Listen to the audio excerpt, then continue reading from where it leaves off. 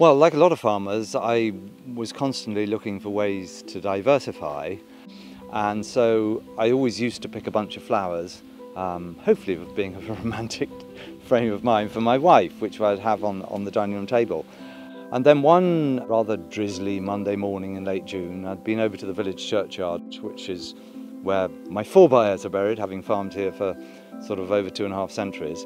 And I came out through the Lich Gate onto the road and noticed subliminally on the ground a lot of dirty, wet paper confetti in the, in the gutter. Wandered back into the house and into the dining room where this bunch of flowers was on the table that I'd picked. And the petals from the bunch of flowers had fallen onto the table.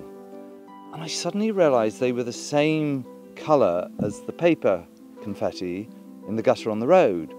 And I thought, what if I make confetti out of flower petals?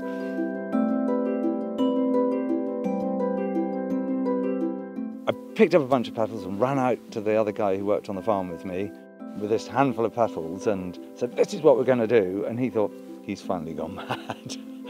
but from that point on, um, slowly with a bit of persuasion, we all began to see the sense of it and I began experimenting with different flowers because a lot of flower petals, when you try and dry them, just go brown.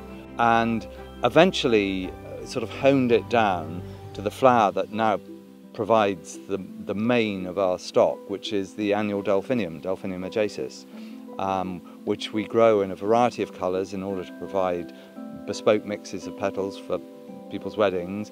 And we also grow cornflowers, um, whose petals have a very intense colour that you can mix with, a, with, with particularly a white cornflower to add a, a real zing to the, the confetti mixture. And then it was a matter of persuading people who are so used, were so used to hearing from venues that confetti is not allowed, that this product was completely natural, completely biodegradable, no different to the grass and the leaves in the churchyard. It, it, it therefore was usable.